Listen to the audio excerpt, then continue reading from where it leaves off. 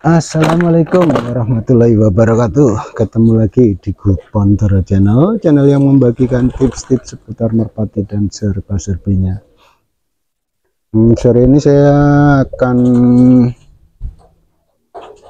melanjutkan lagi pertanyaan Mas Sicilian kalau nggak salah ya tentang Mas Sicilian atau bukan ya? Tapi juga ada teman saya di di darat begini ya. Maksudnya bukan bukan subscriber. Dia juga agak heran dengan burung dia. Waktu diterbangkan itu burungnya eh burungnya kalau terbang gini ya teman-teman ya. Nah gini ya. Kakinya dinaikkan gini. Sedangkan burung dia yang lain kakinya begini waktu dia terbang waktu dilepaskan dia ini posisi terbangnya misalnya. Ah ini kakinya begini di bawah ekor. Kemudian yang satu yang lain-lain itu begitu cuma yang satu kok begini gitu ya. Nah begini terbang. Dia ngepak sayap terus kakinya diangkat begini. Nah ini yang saya amati saat saya menjadi joki lepas ya. Ini bukan pengetahuan paten ataupun pasti begitu cuma ini dari pengamatan saya dan kesimpulan saya saat melepaskan burung burung-burung bahan ya ini bukan bukan burung player yang udah jadi. Entah kalau ini sudah burung jadi apa dia masih terbang diangkat kakinya begini atau tidak saya belum sampai di situ. Tapi ini merpati bahan yang sedang dilatih teman-teman dan saya yang lepasinnya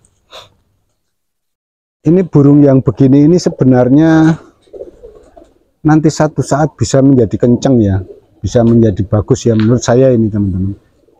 Dan juga masih Sicilian atau teman-teman yang menanyakan tentang merpati saat terbang diangkat kakinya sampai di atas ekor ya. Itu biasanya burung itu malesan ya. Kalau saya lihat itu burung itu males. Artinya males gini kalau burung-burung lain ketika diterbangkan kepakannya itu sudah biasa ya gini ya. Pak pak pak pak pak pak pak pak pak pak. Pak walaupun dia lelah terbangannya tetap begitu kepakan sayapnya. Tapi kalau untuk burung yang satu ini yang jenis terbangannya kakinya diangkat itu kayak ngoyo ya. Kayak ngoyo kayak ngoyo atau kayak males atau kayak nggak ada tenaga gitu ya. Gini ya. Gitu ya itu yang saya amati. Semua dari burung yang model kakinya diangkat begitu. Dan kalau dibilang dia, dia baru latihan juga enggak. Karena itu ada yang sudah sampai lepasan di hampir star ya kurang lebih 600 meteran itu. Startnya kan 800 kalau di Surwo itu kalau nggak salah itu ya. Mungkin lebih sedikit lah. Itu terbangannya masih gitu ya teman-teman. Saya heran ah, kenapa ini burung ternyata dia kalau menurut saya belum bertenaga. Artinya tenaga yang sesuai dengan yang diinginkan ya. Artinya juga tenaga untuk dia terbang terbang jauh dan biddingnya itu kayaknya belum full. Belum full sesuai dengan uh, anatomi fisik burung tersebut. Jadi dia kesannya begini. Kemudian dia kalau lelah sedikit saja misalnya baru 3 4 atau sampai lima kali lepasan itu biasanya dia nemplok. Itu berkali-kali saya amati. Itu burung yang model begitu itu kalau sudah agak kelelahan dia langsung nemplok. Kalau burung yang ini yang terbang terus kakinya langsung di bawah ekor itu itu biasanya walaupun lelah kalau kalau lelah maksudnya itu enggak sampai nemplok. Dia akan terus berusaha untuk sampai di tempat dia terbang. Eh di tempat dia landing. Kemudian kalau dia sudah sudah jalur itu biasanya kalau lelah kelihatan saat dia terbang itu dia akan keluar jalur.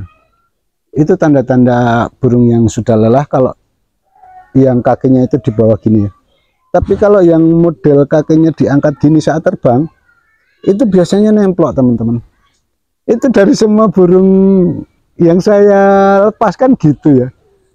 Tapi ada satu yang sudah kayaknya udah ngisi tenaganya.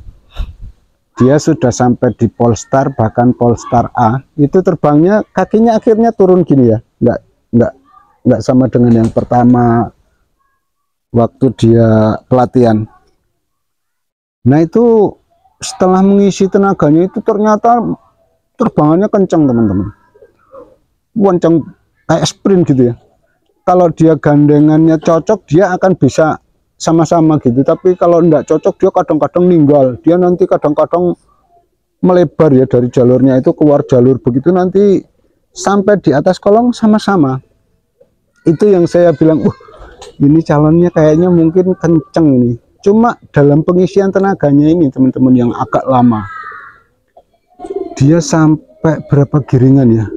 8 atau 9 giringan itu. Burung itu baru bisa terbang kakinya di bawah kemudian dia tidak nemplokan. Itu pun diselingi sama diangremkan tapi nggak sampai loloh kayaknya itu. Diangremkan maksudnya dipanjangkan masa angremnya sebenarnya mau dilolohkan tapi mungkin teman saya itu tidak sabar ya. Kemudian ditarik setelah hampir dua minggu. Kemudian dilatih ulang. Awal-awal juga masih di atas begini kakinya. Tapi saya belum kasih tahu sama teman saya kalau model terbangnya begini sekarang sudah begini. Karena saya belum berani mengambil kesimpulan apakah itu benar atau salah. Tapi ternyata waktu dilepasan pol A itu sekitar satu kilo itu dia terbangnya sudah menurunkan kaki begini. Kemudian dia waktu sudah guandeng tinggi stupnya itu mau bagus. Losnya panjang terbangannya juga nggak kalah sama yang gandengannya yang sudah beberapa kali lepasan Polestar tapi kendalanya yang yang pada awal-awal uh, pelatihan itu muncul kalau dia mungkin karena dia sudah lelah sekali ya. Karena gandengannya waktu melatih itu dia datang terlambat bukan terlambat ke belakang. Uh, punya teman saya itu udah lepasan ke berapa ya? Mungkin sudah lepasan ke empat ke lima. Kemudian yang untuk penggandengnya itu baru datang. Jadi dia kalah apa istilahnya? Bukan kalah ya tapi dia mungkin sudah lelah tapi digandengkan dengan yang masih fresh yang masih agak fresh lah istilahnya. Nah itu akhirnya dia nemplok lagi. Itu yang untuk burung teman saya yang kakinya diangkat ke atas ya. Mudah-mudahan nanti kalau satu saat dia sudah betul-betul tenaganya ngisi. Oh iya saya hampir lupa. Burung itu walaupun sudah dibeginikan kakinya tapi waktu turun dia belum berani sampai di bawah. Dia masih agak ngebuang agak ngese gitu ya. Itu kalau kesimpulan saya tenaganya memang belum cukup. Karena waktu itu dia tinggi sekali kemudian dia stutnya losnya panjang gitu.